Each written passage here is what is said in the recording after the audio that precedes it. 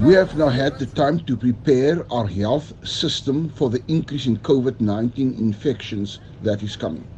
The provincial government has worked very hard on this, and our city clinics are playing their part by offering testing and screening across the metro.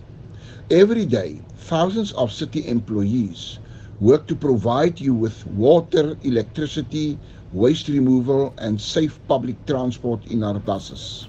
So far, we have delivered 25 million litres of water to informal settlements and installed 93 water tanks. We have ensured that our frontline staff have the necessary protective equipment. And thanks to many generous donations, we have handed out thousands of masks to the public. Our councillors have pulled 12 million rand for emergency food relief, while the national government is primarily responsible for food relief. We are playing a part to support soup kitchens throughout the metro. We have also developed dynamic economic and social recovery plans, and we continue to push for more businesses to open safely under lockdown regulations. We must find this balance to save both lives and livelihoods.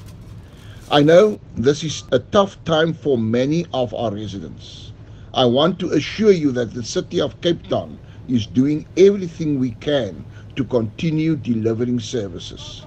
Please ensure social distancing, wash your hands, and fastbite, we will make it as one city together.